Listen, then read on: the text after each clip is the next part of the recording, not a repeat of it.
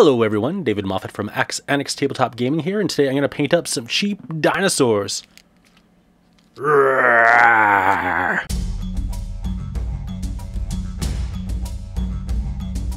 Here we have a cheap dinosaur toy that I have primed. I took it from my daughter's collection. This is the original. I'm going to paint it to look as close to the original as I can, but have more visual interest. Because they're cheap dollar store toys, they have terrible mold lines like this. And since you're painting up a cheap toy, you could spend a lot of time fixing it, or you could just say, hey, this is just a cheap toy. It's just going to look good. I've primed it black, and I'm going to paint it with contrast. Now, obviously, contrast is going to have a hard time working on a straight black surface. So instead, what I'm going to do is dry brush some Wraithbone on there. So I've put a little Wraithbone on my wet palette. I'm going to take one of these nice honkin' makeup brushes, and I've slightly dampened it. So that the paint doesn't immediately dry in the bristles and give me a powdery finish. So I want to keep it kind of smooth, which means that the uh, dry brushing might be a little heavier than you might think, but that's going to be okay in this case. So let's take a little, put it on my piece of cardboard, smoosh it around, and just tickle them.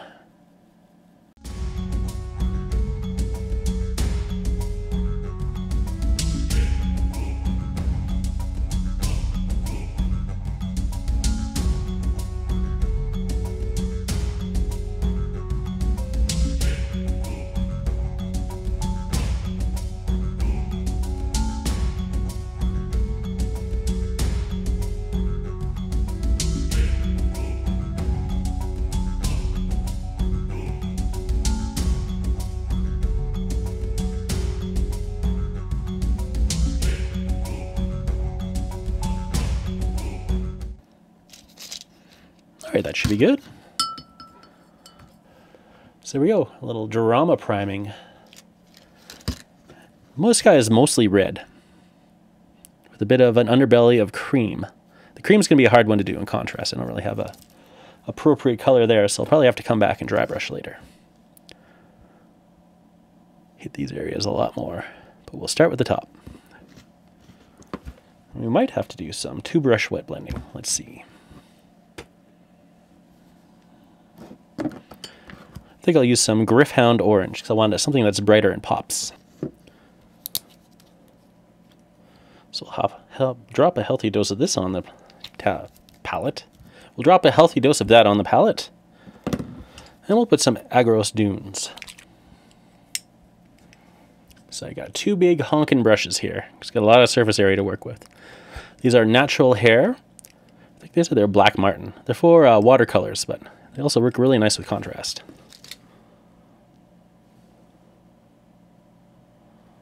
They hold a lot, so you can have a nice reserve. So let's grab our little dino here for reference. Let's go to town. So everything on top is going to be orange.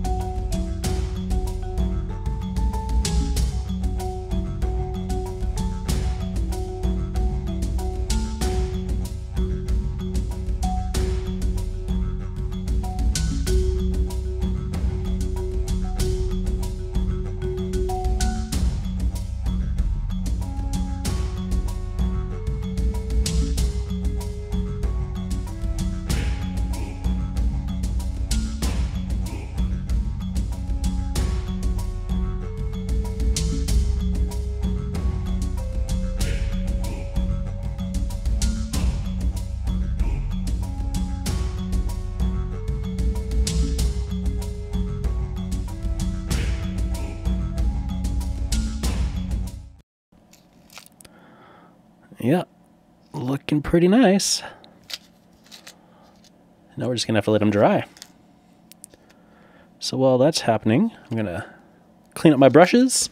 I'll start working with the smaller details.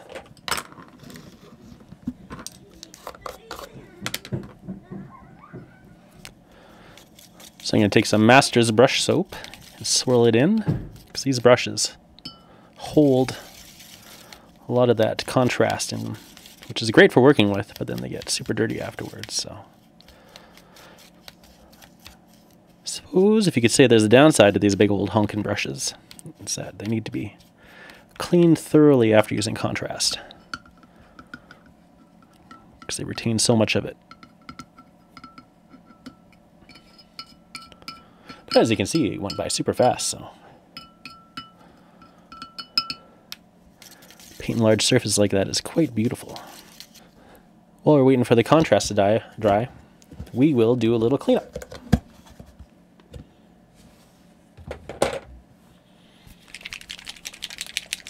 I'll use the Wraith Bone again.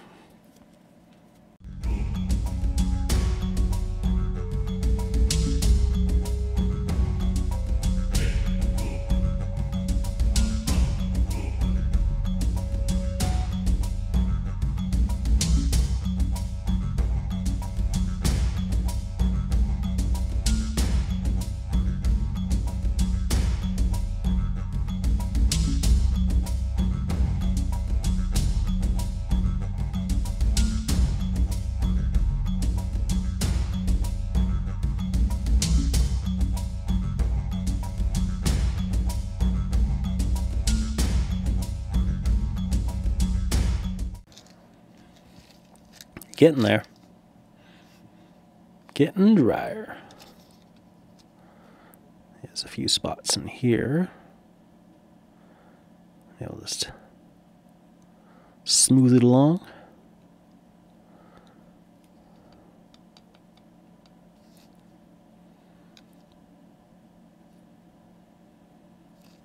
Feather it out. Grab a little of this where it's pooling. Spread it around.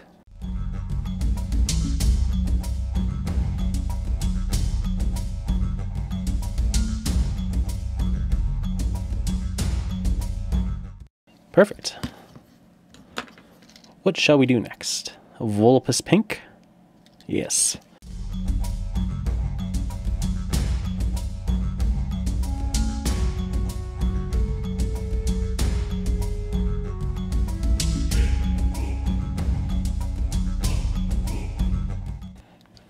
That's about it for the Volupus Pink.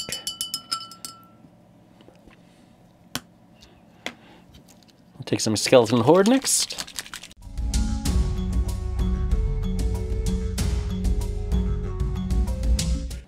We'll let it recess up into his gums there. That'll be perfectly fine, I think. Might pick a little excess out, actually. After, actually.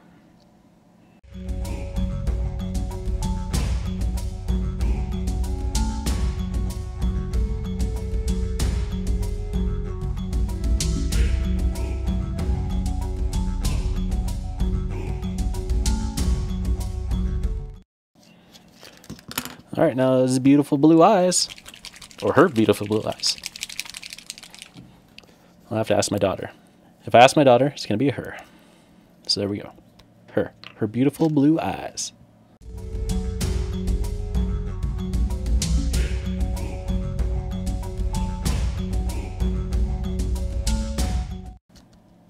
Looks dry enough to dry brush now. So that's perfect. Let's see here. Let's close up the palette. Probably come back and do another round of blue afterwards, but for now, we're going to pull out some of our handy dandy dry brush paints that most people do not love. Hmm. Would that be a good highlight color? I think so. Let's try it. Let's see. I'll start with the Terminus Stone.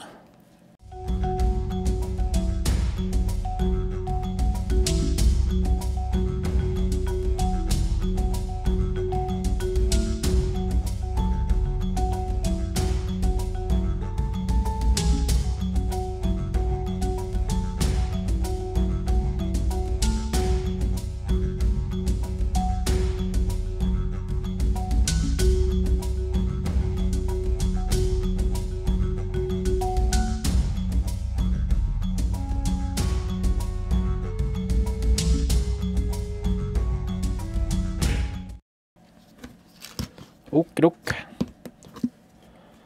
Next up, we'll throw some red on, see how that looks.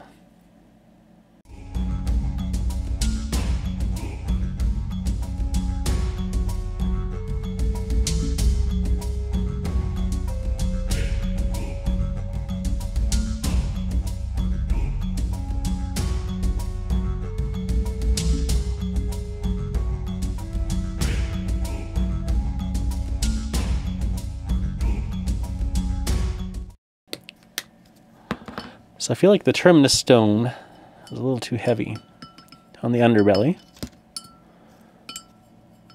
So I'll go back and I'll thin out some Aggaros dunes. And we'll see how that looks. So I'm going to thin it with some pretend contrast medium. It's not real contrast medium, but it acts like it.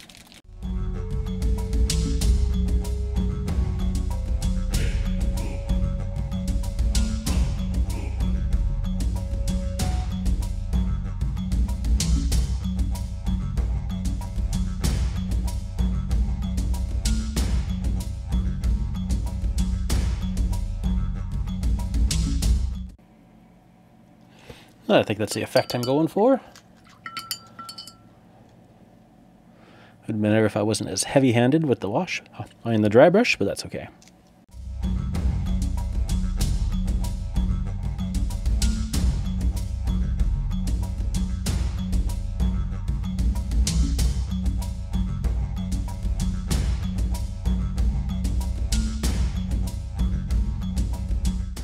And lastly, We'll add one more layer to his little blue eyes.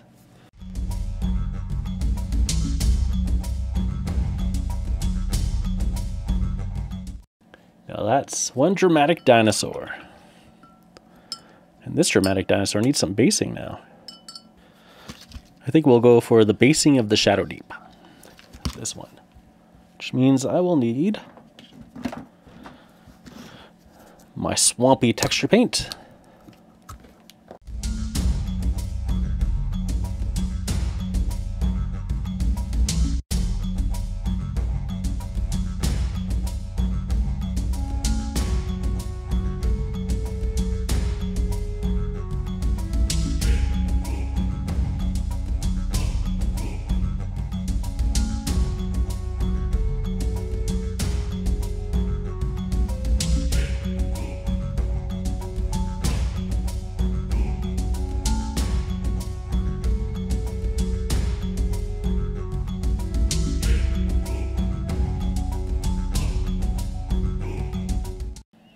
That should be all right.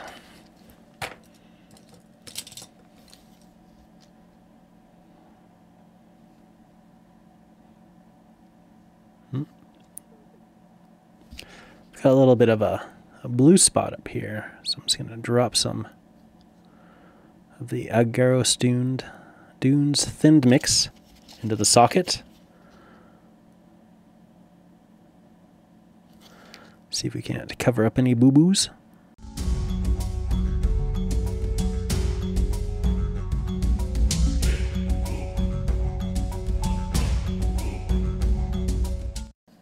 Too shabby so far.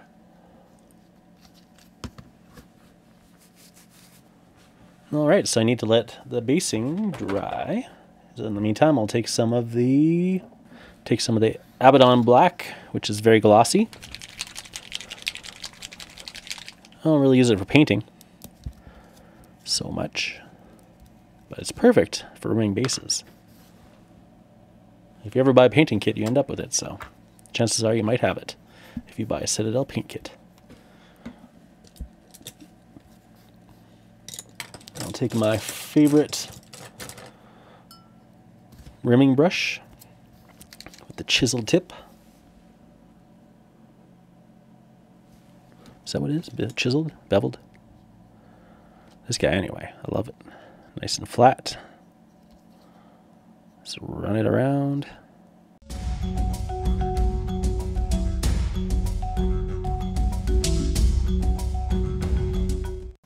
Okay, so the base is pretty much dry now. So I'm going to take a couple of tufts, yeah, stick them on.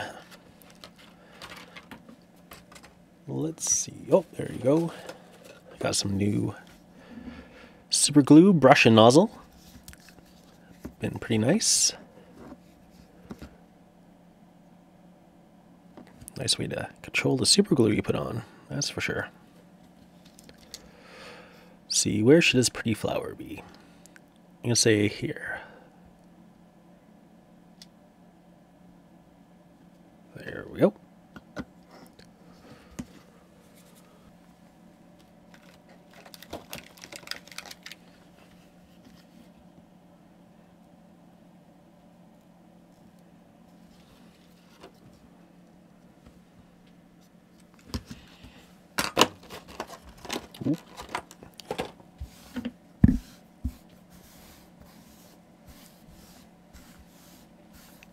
I'll have to save that stuff for later.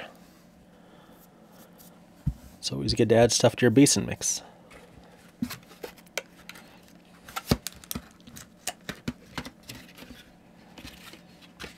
A couple of the smaller grass tufts. Whoop. How about here? I like to keep them somewhat out of the way because the next step involves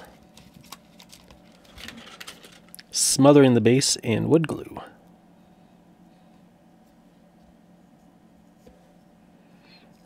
For the Shadow Deep basing mix. And I'm not doing myself any favors if I'm putting these little bushes like in the center of his leg, that's for sure. We'll put one more back here. And that should be quite nice. Just a little tiny one, sure.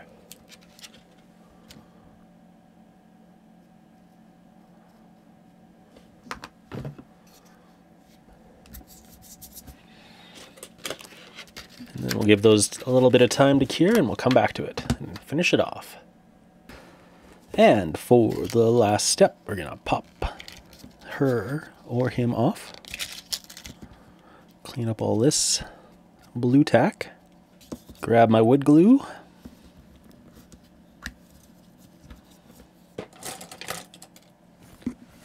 Grab one of my junky brushes. Begin applying the glue all over. All over the base.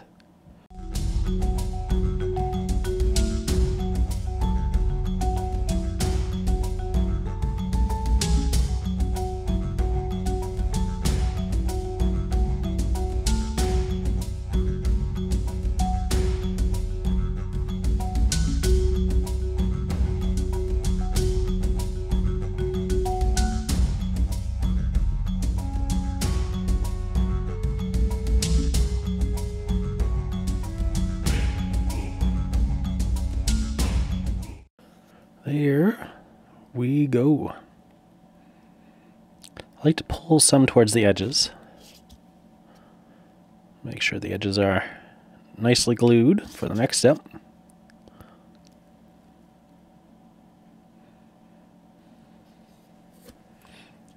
So now we're gonna do the fun part. I'll take some of my Shadow Deep basing mix I'm to sprinkle it on. Got all sorts of textures in here. We got sands and flocks and mosses, little stones, kitty litter, all sorts of things.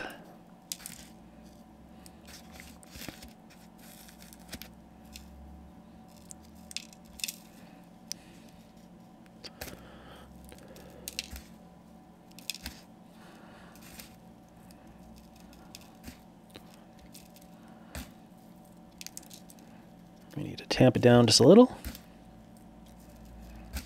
It's a lot easier if you can dip the model in the stuff, but I don't really have the greatest in containers to put it in.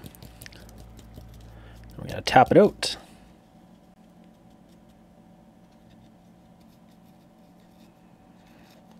Refluff up the static grasses. Those little grass tufts. Tap it off a little more.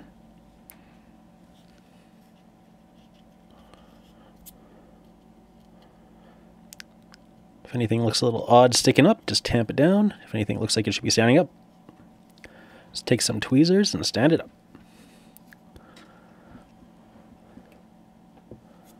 I'll probably put a little more moss in there after it dries. Usually when you drop it on like this, it gets a little, a little heavy on the sand, which is okay.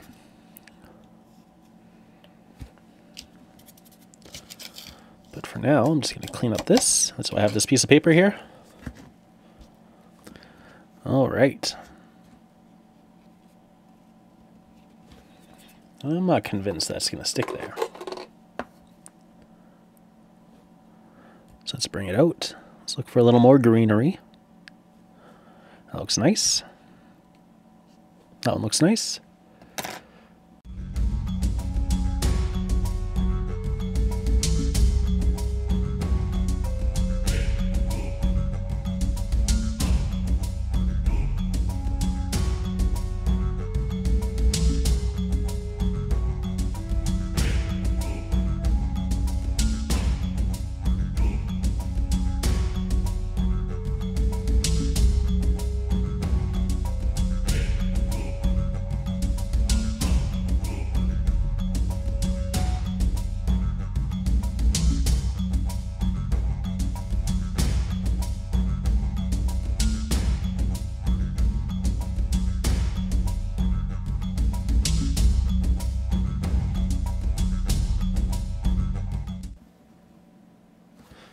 And there we go. Original dinosaur, new dinosaur.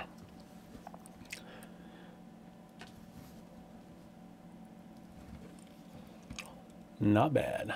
Let's go ahead and take some pictures in my light booth. I'll add some uh, fantasy miniatures in there for scale. Maybe I'll put some Stormcast in. That could be fun. All right. Well, that's it. Thanks for watching. Bye bye.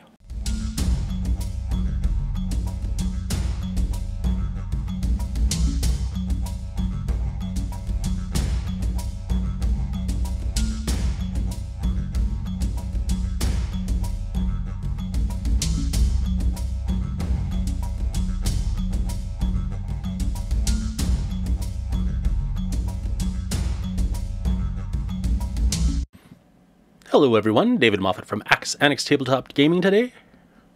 Hello everyone, David Moffat from Ax Anax... Mm,